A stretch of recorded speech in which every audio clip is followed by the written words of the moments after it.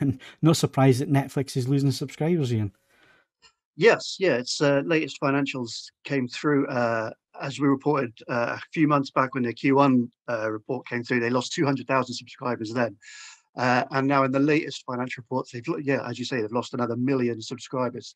Um, to be fair, back in Q1 they predicted to lose two million subscribers, but obviously his success, the likes of Stranger Things, has managed to to keep a few people hanging around. Um, and in fairness, again, they've still got 220 million subscribers. And in the last financial quarter, they still posted an increase in revenue of $7.97 billion. So it's not exactly all gloom and doom. Um, and just a couple of added caveats to that as well. In the same report, the company announced that the cheaper ads supported tier that we've been talking about uh, in the past is due to arrive early in 2023, but still no word on pricing. Uh, and they also referenced the paid sharing uh, system, which aims to clamp down on people sharing passwords around uh, various households without paying for it. Uh, this involves just paying a small extra subscription fee per household, so you can link households to one account, uh, and that's going to start rolling out on a, a more of a global scale uh, in 2023 as well. So yeah, a bit of a few losses from Netflix, but a few pointers as to what's happening in the future as well. Um, something that's just worth adding. Someone pointed this out on Twitter earlier uh, and I think it bears repeating that this subscription loss, a subscriber loss rather, it does include Netflix pulling out of Russia.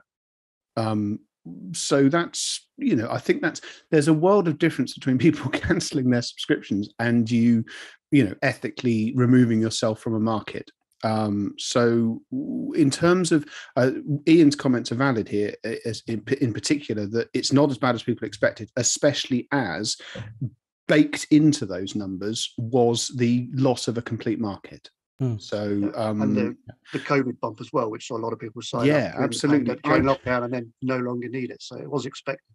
I don't want to pretend that it's smooth sailing for Netflix. They still have some serious structural issues to overcome, and the balkanization of the streaming service market is going to be a huge problem for everyone who isn't um, Apple, Amazon, and Disney, who, let's face it, have you know unlimited resources.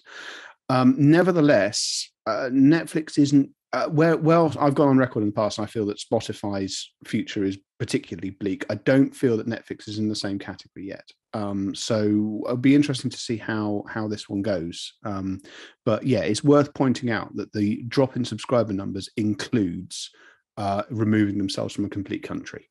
Yeah, and you know, a million sounds big but it's not that big when you look at the bigger picture. Pun intended. Yeah. You know, it's uh, you know it's a drop in the ocean for for a company the size of Netflix with their subscriber base, and they they produced their first half decent film this week. So oh, it's which, dividing opinions. I keep intending to watch it and being sidetracked by episodes of Brooklyn Nine Nine. I haven't seen it yet, so uh. yeah. So uh, yeah, I don't think Netflix are going anywhere just yet. I do think some of the uh, the policies that they're trying to bring in, especially account sharing, may backfire on them slightly. Um, because I think that's one way that they tend to grow. Uh, you know, people latch on to somebody else's account and then they think, oh, actually, this is not too bad, and uh, you know, end up getting it themselves. So uh, they, that could backfire on them a little bit uh, if mm. they start trying to clamp down on that kind of thing.